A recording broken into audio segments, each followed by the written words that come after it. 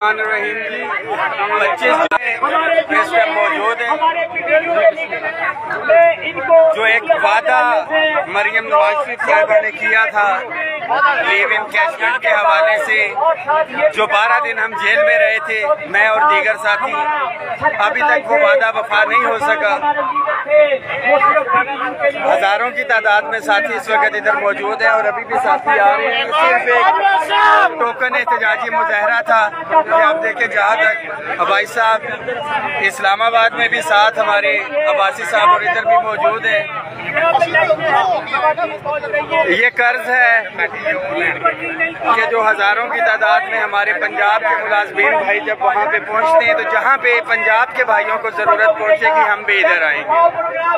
کہ بجٹ کے اندر جو ایک اضافہ تھا وہ ہمارے تمام صوبائی پنجاب خیبر پختونخوا کے بھائیوں کی وجہ سے کوئی اضافہ ملا۔ ہمیں بھی ملا اس کے بعد صوبوں کی وفاق کی طرز پہ باقی چیزیں۔ اور انشاءاللہ تعالی ایجنڈا نیکسٹ ایجنڈا بہت واضح ہے۔ تنخواہوں میں تفریق کا خاتمہ خاص طور پہ گریڈ ایک سے سولہ جو میں بار بار بات کرتا ہوں۔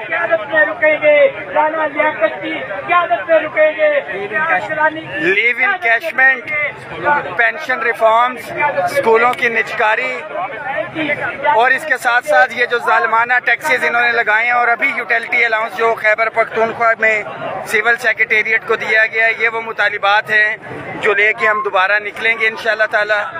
اپ ڈیٹس آپ سے شیئر کرتا چلوں گا۔ کہ جہاں تک نظر جا رہی ہے ملازمین ادھر موجود ہیں۔ اپنے وعدے پورے کرو اور صرف ایک ہی نعرہ ہے کہ مریم نواز اپنا وعدہ پورا کرو۔ سن کے یہ سامنے ہم سن کے یہ سامنے ہم نہیں مانتے ایک ریاست کا دستور ایک ریاست کا دستور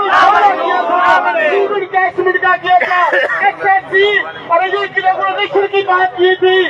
اس کے علاوہ پینسل کے والے سے بات کی تھی۔ آپ نے یہ کہا تھا کہ میں چیف منسٹر بن جاؤں گی یہ بات کرتے تھے کہ شاید ہے تعلق مسلم لیگ نون سے ہے۔ جو سٹنگ گورنمنٹ ہے ہم اس کے ساتھ ہیں۔ مسلم لیگ نون کی گورنمنٹ ہے تو ان کے ساتھ ہیں مگر ان کو وعدہ یاد دلوانے کے لیے ہم ادھر موجود ہیں۔ تمام ساتھی تیاری رکھیں وفات کے خاص طور پہ یہ آج ٹوکن احتجاجی مظاہرت ہے اس کے بعد آئندہ کا لائے عمل ہم نے دینا ہے۔ ابھی تو آپ کی تنخواہیں جو ہے اکاؤنٹ میں نہیں آئی مگر یہ جو ایک وعدہ تھا یہاں پہ وہ یاد کروانے کے لیے ساتھی ادھر موجود ایک حق ہوتا ہے۔ جب ہم سروس میں آئے تھے اپنے ساتھ آپ نے اگریمنٹ کیا تھا۔